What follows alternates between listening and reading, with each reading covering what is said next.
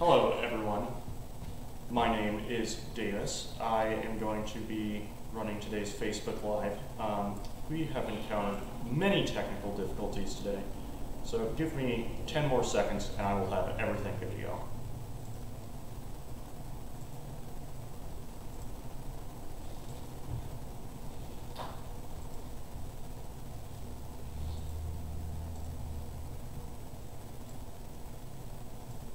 Okay, I think we are finally at a point where I can start this whole thing. So, my name is Davis. I work at the West Valley Outdoor Learning Center, and today, or today's Facebook Live is going to be about useful plants.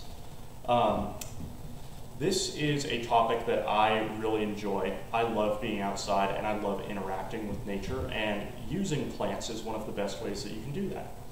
So, I guess I should start by saying what is a useful plant? So, we are going to be talking about four types of useful plants. Useful plants are those plants that uh, are, are plants that can be used by humans for any number of purposes. Um, the four categories that we're going to discuss today are medicinal plants, edible plants, what I like to call craftable plants, and other. Um, so let's just hop right in. So, when it comes to medicinal plants, uh, medicinal, most of the, or um, most, many of the drugs that we use today are based on plants or have their origins in plants.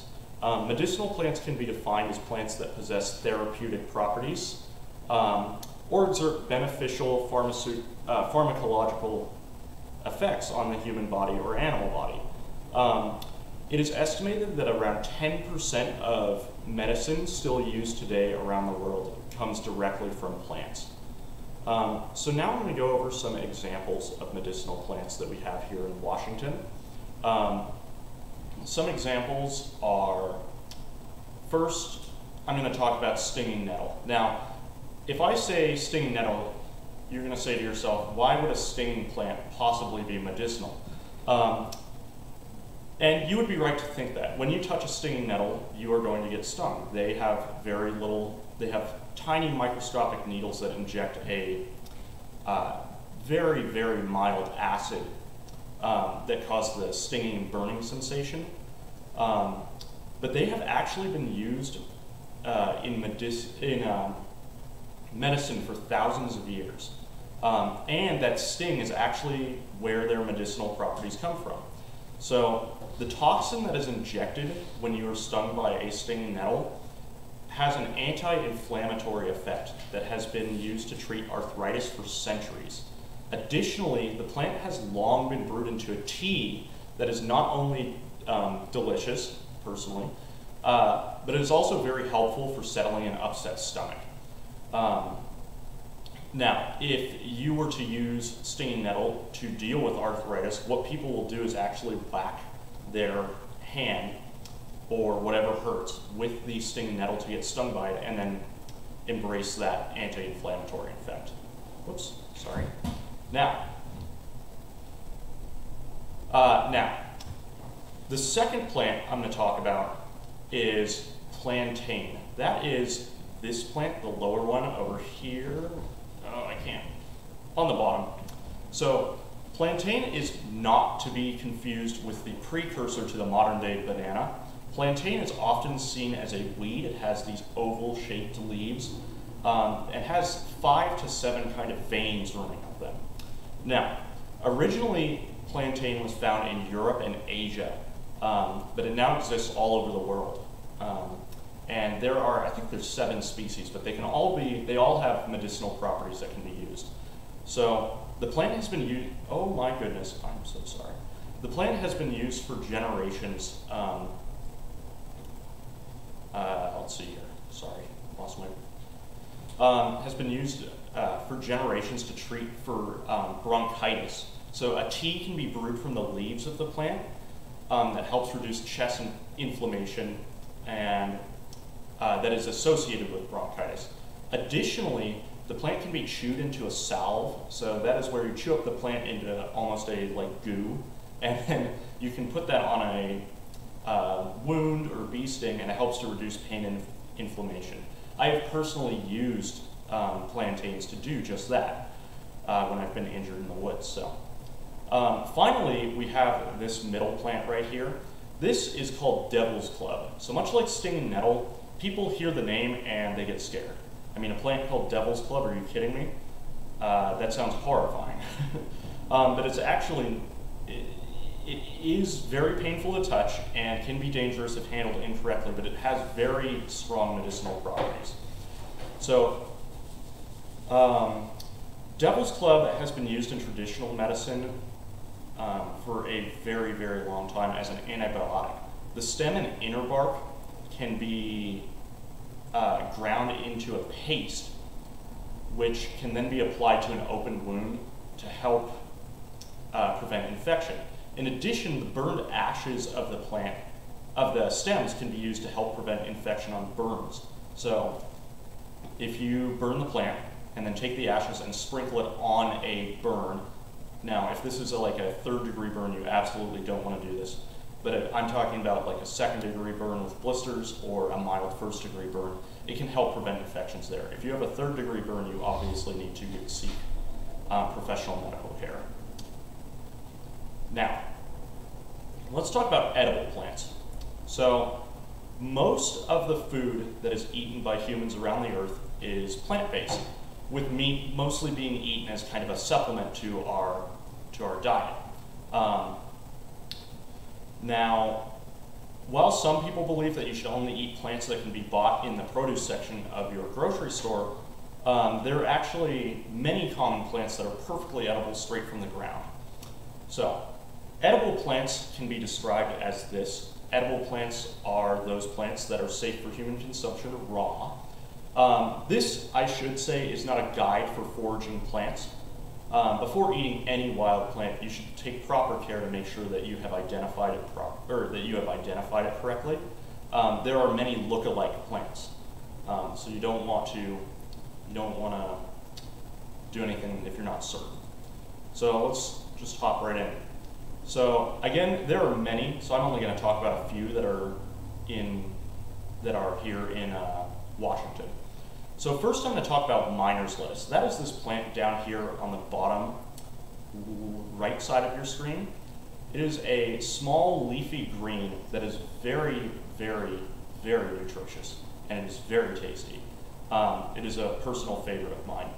So it is very easy to identify. Miner's lettuce is found all over Washington and you can identify it because it has these kind of heart-shaped leaves and little white flowers.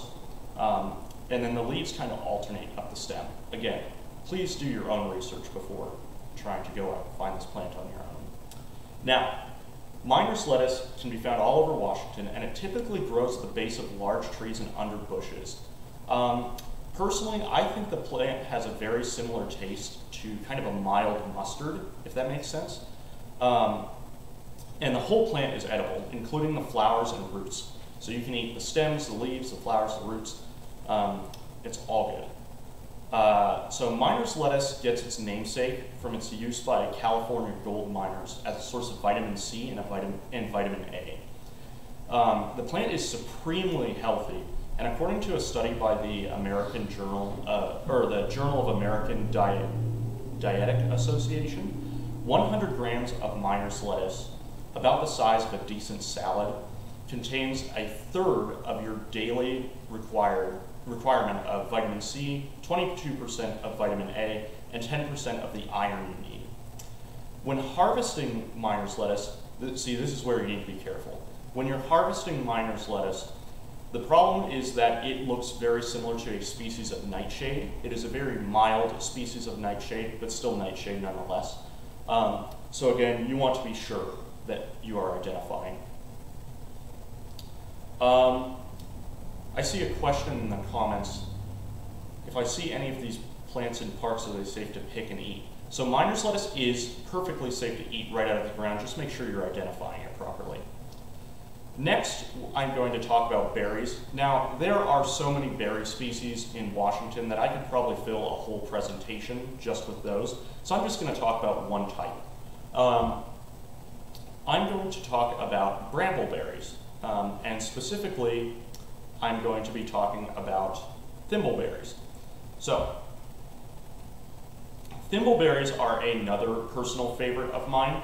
They are also known as cowboy toilet paper, and I will explain that in a minute. Um, thimbleberries are a species of brambleberry, as I said, so they're similar to blackberries and raspberries and salmonberries. Um, they are unique in the brambleberry family, however, because their stems are not spiky. Um, they're not covered in thorns and they are very soft. The leaves almost feel like velvet, which is where the name cowboy toilet paper comes from. You can uh, use your imagination on that one. Um, this berry can be found in temperate forests, but it is also found, um, uh, and it is also unique in that it is not commercially cultivated. Um, this is due to the fruit being incredibly fragile. By the way, that's this berry up here. I did not point that out. The fruit, kind of when you pick it, it almost falls apart in your hand. Um, so it would be very hard to harvest on a farm, for instance. Um, now, it tastes like a really, really sweet raspberry. I think they're very delicious. if you go on any hike in, especially Western Washington, but you can find them over here too, um, you will find them all over the place. They have very large leaves too. The leaves are probably maybe about as big as my head. They're very large. Oops. Finally, we are going to talk about another interesting one, is the common dandelion.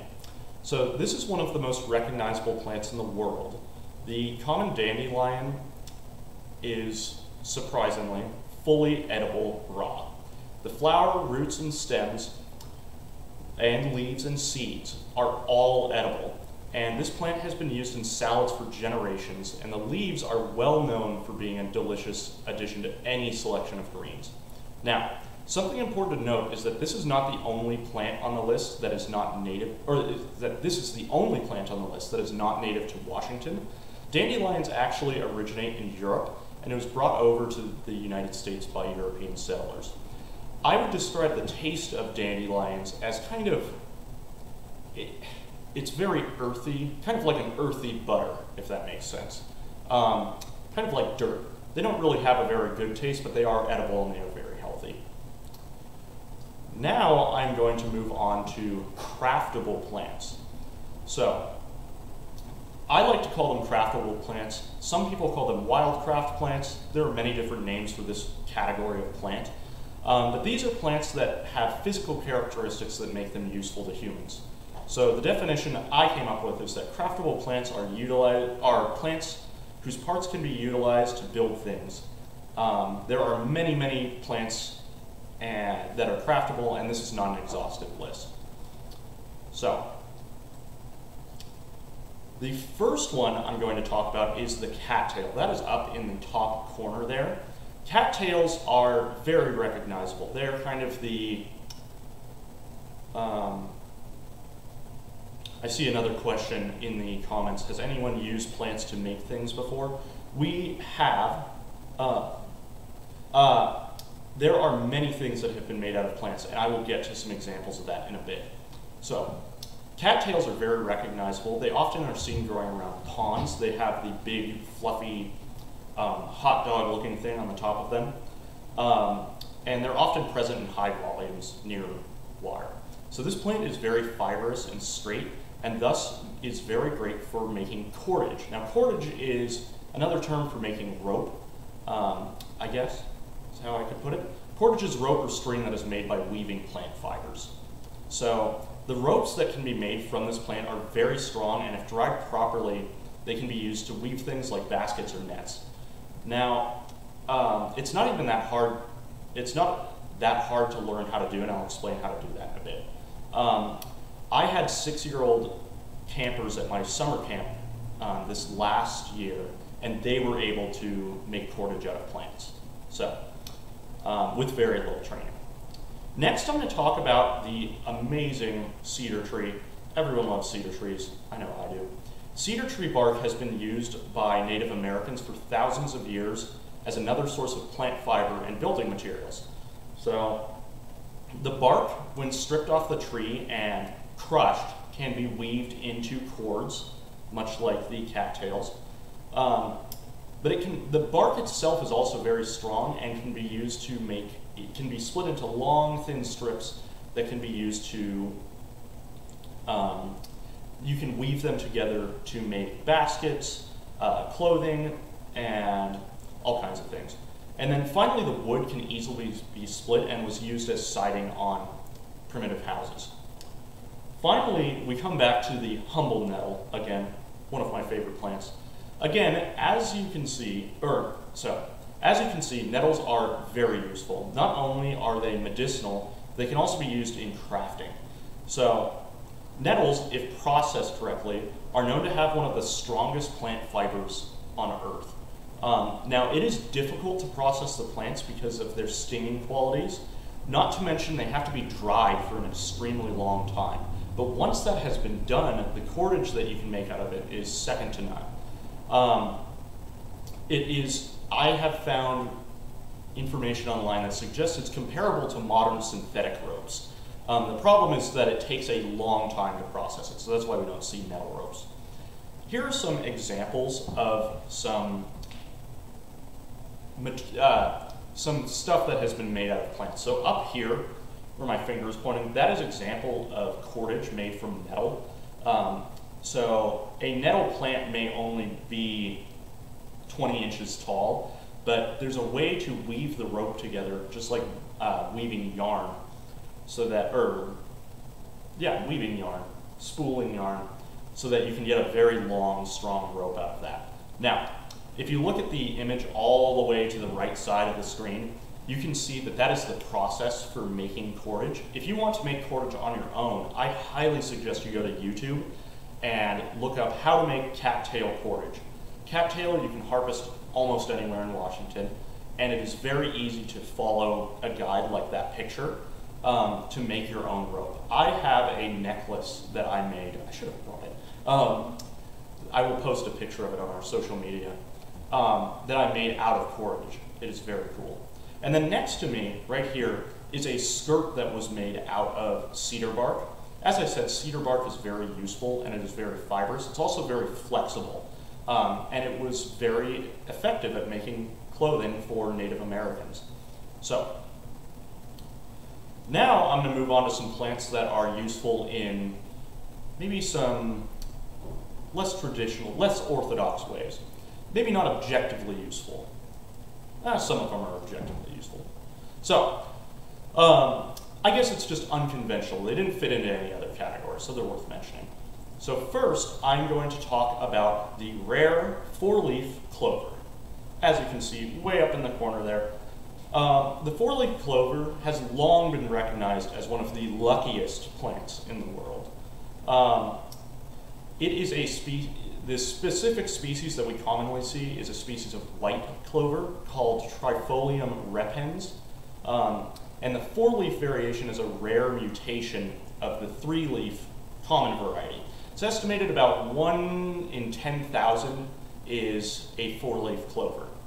Um, now, the four-leaf clover was originally used in sorcery um, or uh, old magic, I guess. Um, and it was used to make potions that made the user happy, is what I found out about it. Um, eventually, that myth transitioned into a the plant providing uh, to the plant being more benevolent. Oh my goodness, benevolent. Benevolent. Benevolent. I'm not going to say it today. I guess I can't say that word. Um, It is a very nice plant, and it is said to provide users luck. Whether or not luck exists as an outside force can be debated, but um, it is said that the luck of a four-leaf clover is unmatched. So take that as you will. Next, I'm going to talk about this beautiful flower right here. These are yarrow flowers. Um, if you want to bring your bumblebee friends to your yard, and I'm talking about bees, um, look no further than the yarrow plant. Uh, the flowers on the, I actually think it's a yarrow, um, are amazing at attracting bees to your yard, and they help to keep them very happy and very healthy. So if you want more bees in your yard, please plant those. Finally, we're going to talk about trees. Now, trees have many, many benefits for humans. Um, first, I guess most obviously, is that we use our trees for constructing things. Um, when you cut down a tree, you end up with timber, right? You get wood and, of many different sizes, and then other parts of the tree, such as the wood shavings, can be turned into pulp that can be used to make paper. Now, some other benefits of trees, uh, I guess most importantly, is that they remove carbon dioxide from the air. So carbon dioxide is a greenhouse gas that has contributed to global warming. Um, if we, and so when trees grow, they intake a lot of that carbon dioxide and use it to kind of, as a part of their structure. They break down the carbon and use it to build sugar chains that they use as their structure. So it's holding on to that carbon. Now, additionally, having trees around your house can lower the cooling costs of uh, on your power bill. Um, the more shade that is applied to your house by trees, the less that you have to run your air conditioner, which we all, no one likes to pay their power bill and no one likes to pay a high power bill. So having trees around your house can help. And then finally, they clean air and water. So not only do trees sequester carbon, they can also pull certain toxins out of the air. Um, I know that sulfur dioxides, for instance, can be pulled out of the air by trees, and oils in the ground and different toxins in the ground can be pulled up into the roots. And then it doesn't hurt the tree, It'll, the tree will actually hold those in little nodules. Um, so it doesn't hurt it, but it also doesn't hurt the environment. Now, there is one more thing that I want to talk about today, and that is that plants make us happy in general. So results of multiple studies have shown that having plants, going for a walk in the park, or even looking at a landscape poster that has plants in it can produce psychological benefits um, such as reducing stress and improving concentration. Humans evolved in a it, we evolved in areas that had lots of plants around them, and since plants are so useful to us, being around it was an evolutionary advantage for us to be happy when we're around plants. Now, we don't need to use plants to survive as much as we did when we were in our species infancy, but having plants around your house can help keep you uplifted, it can help you deal with the stresses of modern day life, and it can, um, who doesn't like to see a nice house plant, right? I have a beautiful fern in my house, and it makes me very happy. Um, don't do what I do and get succulents, though. They are very hard to take care of and I have killed many. It's not even worth trying. Well, it's worth trying, but I'm not going to keep trying. Now, I would like, I know that this was a shorter presentation than we usually do, but please stay updated on our social media. You can follow us on Facebook, Instagram, or YouTube. Um, if you follow us on YouTube, you can see all of our past live streams. On Instagram and Facebook, we post all kinds of stuff, funny videos of animals, um, keep you updated on what we're doing with the community, um, and we post acts that we post events that we that we um, are doing. We also just started a TikTok. You can find it linked on our Instagram page. Um, I just got a question in the chat. Does the OLC have any cool plants outdoors? And yes, we do. We have a western red cedar out in the yard. We also have a couple birch trees. Something interesting with birch trees that's useful is that you can peel the bark off and use it as paper. It is not recommended though because it can harm the tree. We have, I have seen lots of different edible plants in the yard, um, including dandelions. And then we also have, oh, what else do we have? Oh, we have a large willow tree. The branches on willow trees can be used to make baskets, so that's also very cool. Um, so that actually leads perfectly into my final point.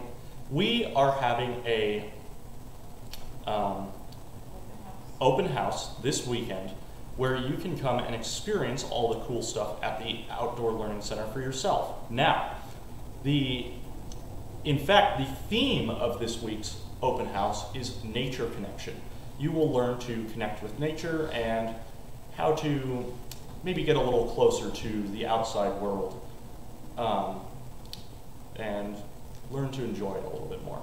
There will be lots of animals out, and you will get to meet and hang out with all of us.